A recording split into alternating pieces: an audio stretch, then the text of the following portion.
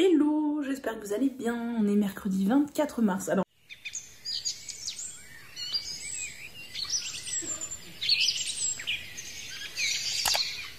Oui, il y a un cintre ici, ne cherchez pas à comprendre. Euh, je vous retrouve avec un soin sur la tête, je voulais vous le montrer, j'ai complètement oublié.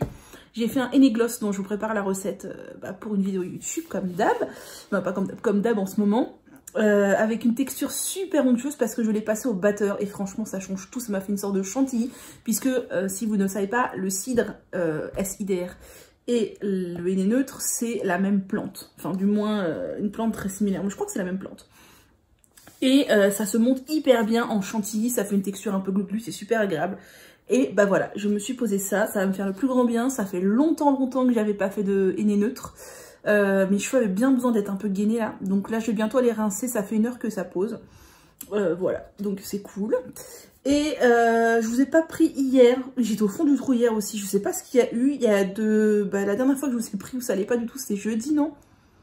Je crois jeudi, vendredi samedi, dimanche, lundi, mardi, peut-être bien, j'étais super mal. Mais je dormais mal, j'étais exténuée physiquement, j'avais aucune énergie, euh, j'arrivais pas à faire ce que je voulais, moralement c'était compliqué, j'étais super angoissée, je ne sais pas ce qui s'est passé. Je soupçonne mes règles diète pour quelque chose, puisque elles sont tombées quand? Euh, Elles sont tombées dimanche, samedi, samedi, dimanche, je sais plus. Donc voilà, je pense qu'il y a eu du SPM et puis du premier jour de règles qui était un peu compliqué, mais ça fait longtemps que j'en avais pas euh, bavé comme ça. Donc aujourd'hui ça va mieux, j'ai bien dormi. Euh, voilà, je voulais vous montrer, je l'ai sous le nez, j'en profite. Hier soir, j'ai fini euh, ce livre qui m'a été offert par une amie pour Noël.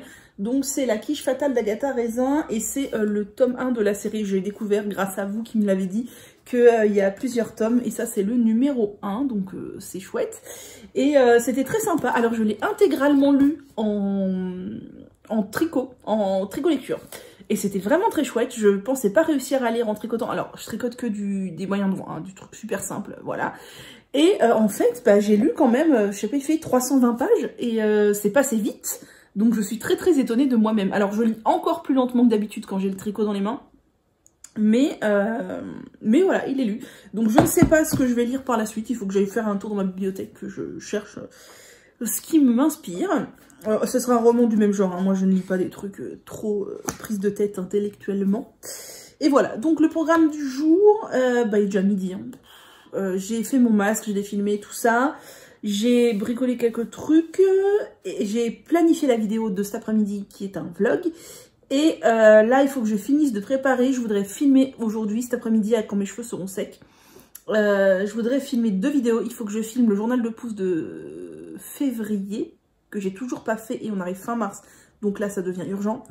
Et euh, le bilan de 7 ans de passage au naturel, puisque bah, en mars, là, ça fait 7 ans que je suis passée au naturel, puisque je suis passée au naturel en mars, il y a 7 ans. Donc tous les ans, je fais une petite vidéo bilan avec voilà le, bilan de l'année, qu'est-ce que j'ai découvert, les favoris, les flops, les routines, etc. etc. Donc, il euh, faut que je la prépare. J'ai commencé là dans mon cahier qui me sert à préparer mes vidéos, mais j'ai pas fini. Donc, il faut que je fasse ça pendant que mes cheveux sèchent. Et euh, je voudrais faire un peu de tricot aussi. Bien entendu, une bonne journée n'est pas une bonne journée s'il n'y a pas de tricot. Euh, j'ai commencé à faire un top. Alors j'étais partie sur le top Resort. Si j'y pense, euh, je vous mettrai une photo. C'est pas sûr que j'y pense du tout. Ne m'en voulez pas. Qui est un top fine bretelle avec un top tout simple avec des boutons devant. Et il est très beau, mais sur ma morphologie, un top assez près du corps, donc pas évasé ni rien, avec des boutons devant, c'est pas nécessairement ce qui me va le mieux. Les boutons devant, ça a tendance à augmenter encore plus le volume de la graisse abdominale qui est déjà ultra volumineuse chez moi. Donc euh, voilà.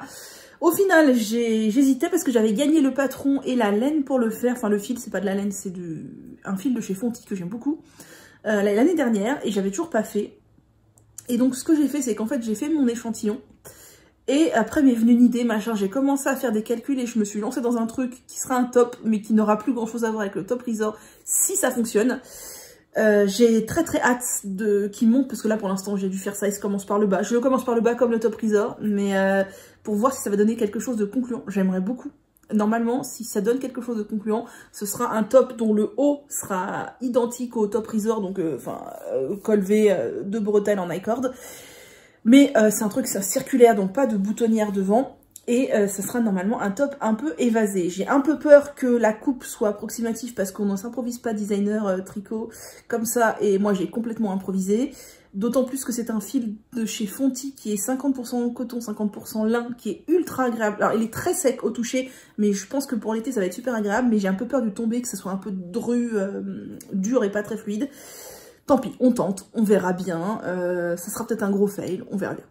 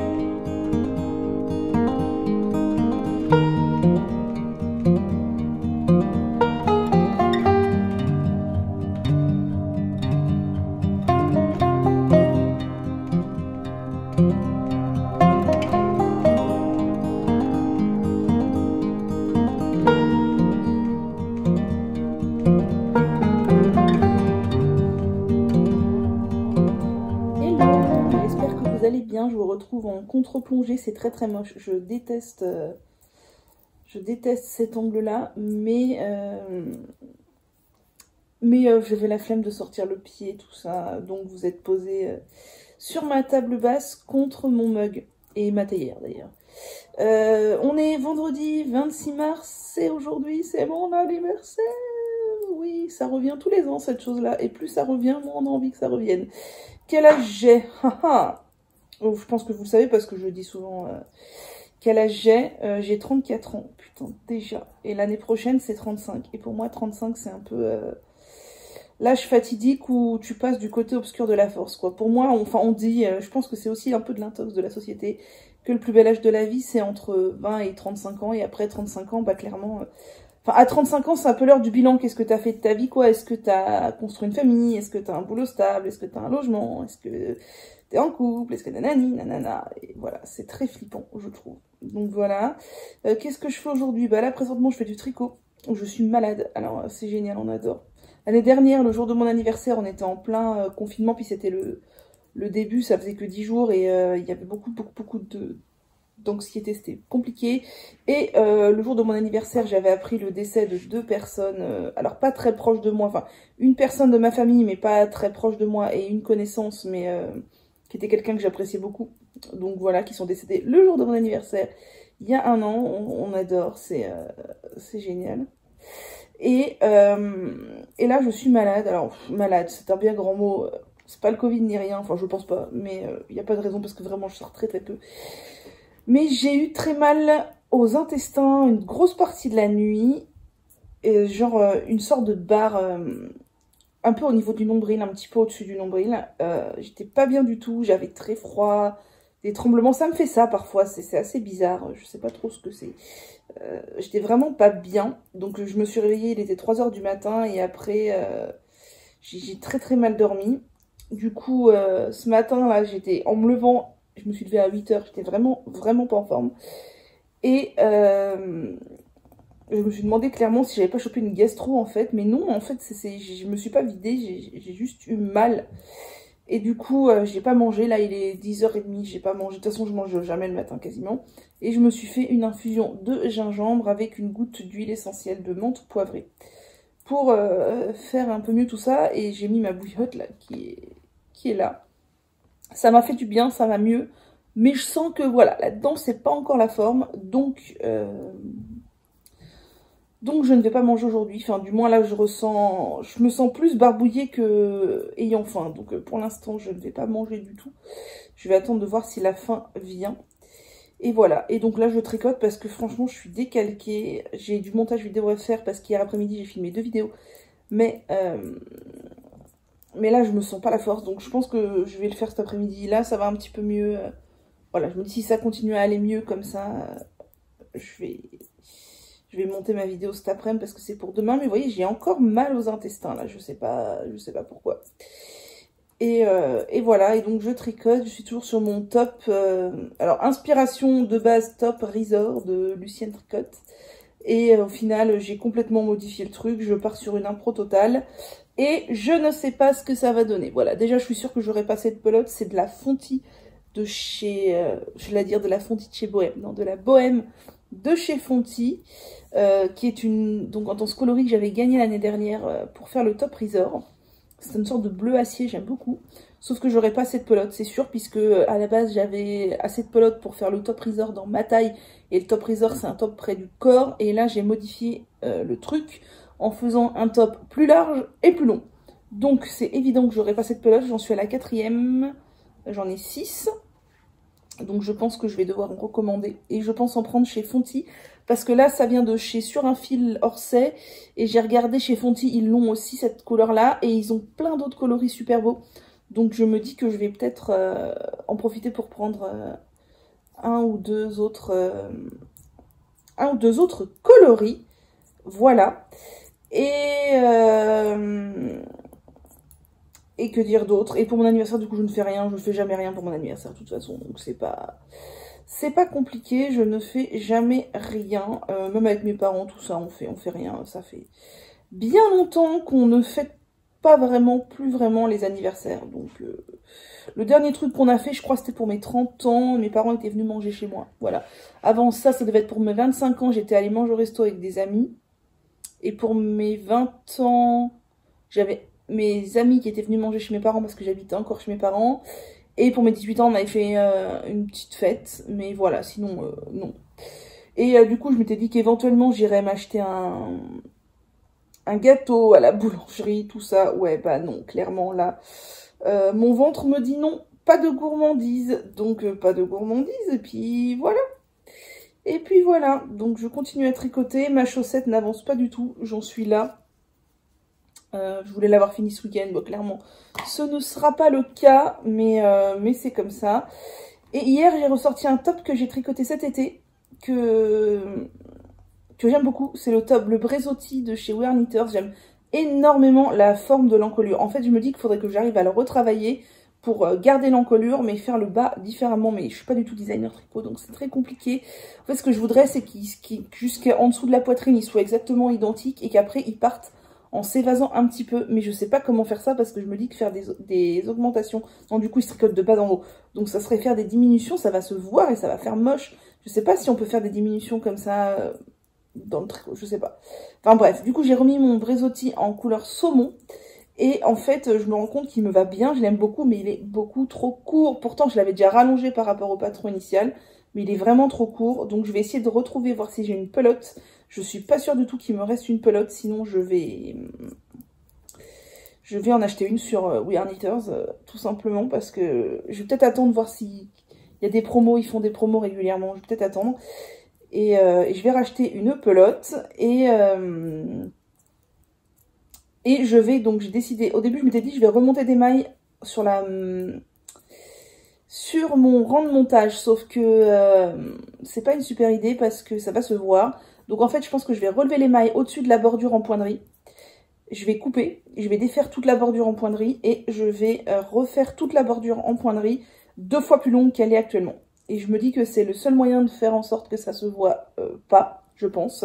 Si je le fais bien, ça se verra pas. Et au moins, il sera assez long pour que, bah, pour que euh, je puisse le mettre et être à l'aise avec, parce que clairement, je l'ai mis hier, mais j'étais pas à l'aise du tout avec. si je lève les bras, il me remonte au-dessus du nombril. Et clairement, non pas possible quoi. Et je peux pas rallonger la partie en jersey parce qu'en fait comme c'est le rang de montage et que je vais repartir dans l'autre sens, si je fais du jersey, il va être, euh, dans l'autre sens en fait. Les V seront dans un sens pour monter et moi mes V seront dans un sens pour euh, dans l'autre sens, donc ça va pas. Donc je ne peux que euh, rallonger la bordure et je vais essayer de faire ça parce que j'ai envie de porter ce top cet été, ça me botte bien. Voilà, là je suis toujours sur mon impro de top qui va normalement, si ça correspond à ce que je veux, euh, partir en s'évasant et avoir un triangle de point mousse devant. Mais euh, je sais pas pourquoi, je sens que le rendu final va pas être euh, ce que je veux. Je, je, le sens pas. je suis pas designer tricot, mais j'ai trop de mal à trouver des tops qui ont la forme que je veux, parce que moi, les trucs moulants près du corps, c'est pas du tout, du tout, du tout ma cam. Et sinon, niveau cheveux, euh, clairement, mes cheveux sont pas très beaux et pas très propres, entre guillemets, un peu poisseux, parce que euh, j'ai mis trop de produits coiffants, je pense, après ma routine. Donc si j'ai le courage ce soir, si je suis pas trop éclatée après cette journée euh, d'anniversaire pitoyable, je me laverai les cheveux soit ce soir, soit demain, je pense. Juste un petit lavage comme ça. Parce que là, ils sont vraiment pas terribles et vraiment un peu poisseux. Et voilà, et sinon, il faudra que je vous montre quand je serai euh, levée. Là, je suis sur mon canapé, j'ai pas envie de me lever. J'ai reçu deux commandes que j'ai passées. Une commande avec de la laine parce que je vais débuter un châle euh, début avril, un cal mystère. Et euh, une commande que j'ai passée dans la maison du Canva, je crois. C'est une mercerie que je connaissais pas. Mais j'avais envie de tester un truc de broderie. Et et oui, je sais que j'avais dit que je ne voulais pas tester la broderie, tout ça.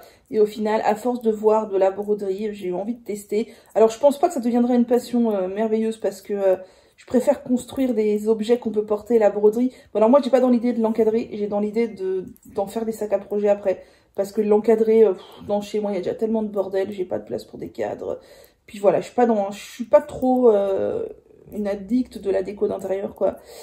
Et, euh, et donc, j'avais repéré des, kits de broderie de la marque Le, chat dans l'aiguille. L'aiguille du chat, le chat dans l'aiguille, un truc comme ça. Euh, fabriqué en France, qui était très mignon. Il y en avait sur le site euh, Rascol, il y en avait sur le site euh, sur un fil, je crois.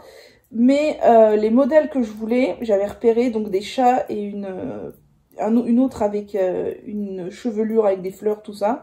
Euh, c'était indisponible. Et donc j'ai cherché sur internet en tapant le nom de la de la marque en fait des broderies. C'était des je vous ai pas dit c'est des kits euh, des kits parce que moi j'ai jamais fait de broderie, c'est de la broderie classique, hein, c'est pas du point de croix, c'est vraiment de la broderie classique. Je trouve ça plus joli que le point de croix qui est trop euh, graphique, trop géométrique à mon goût. Et donc j'ai tapé dans Google la marque du, de la broderie, j'ai trouvé des boutiques qui revendaient et sur la broderie, donc le monde du canevas, il y avait le, les modèles que je voulais. Donc ça c'était cool. Et en plus, euh, il y avait une promo éphémère, je crois, de 3-4 jours, où tout était à moins 30%, toutes les broderies étaient à moins 30%. Donc en fait, c'était super cool. J'ai sauté sur l'occasion parce que c'était vraiment d'une pierre de coups.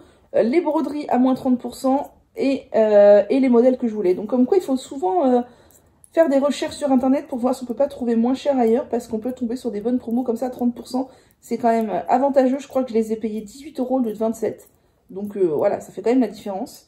Je vous les montrerai tout à l'heure. Il faudra que je teste ça, mais euh, avant ça, je vais attendre. Il y a Petite Biche Rose, donc que j'aime bien suivre sur les réseaux, qui fait pas mal d'activités créatives, qui va faire une sorte de tuto au mois d'avril, une broderie euh, collaborative, une sorte de cale, mais c'est pas une cale du coup, une, balle, une broderie longue, non, je sais pas. Euh, pour, expliquer un peu la technique. Et, voilà, du coup, j'attends. J'ai acheté aussi, j'ai fait une commande hier chez DMC pour acheter un petit peu de matos pour faire la broderie avec elle. Euh, puisque j'avais en plus de ça un bon d'achat de 10 euros pour mon anniversaire euh, chez DMC. qui, ils offrent une réduction de 10 euros en fait. Donc, bah, j'ai profité de ce bon de réduction de 10 euros pour acheter le matos qu'il me fallait pour faire la broderie de petites biches roses. Donc je vais d'abord faire le pas à pas de petites biches roses avant de me lancer toute seule dans les kits de broderie. Euh, voilà, pour voir, euh, pour apprendre un peu les techniques, parce que je pense que quand on n'en a jamais fait, euh, c'est pas super évident. Et Petite Biche Rose, elle a dit que ce serait une sorte de composition avec des roses. Je trouve ça hyper joli et je me dis que si c'est réussi, je pourrais peut-être l'offrir à ma maman. Voilà, bon, ça fait 12 minutes que je parle. Les gens qui n'aiment pas le tricot doivent se dire que c'est gonflant. donc je vais vous laisser. Je vais peut-être me bouger un peu pour aller monter ma vidéo. Et, et voilà.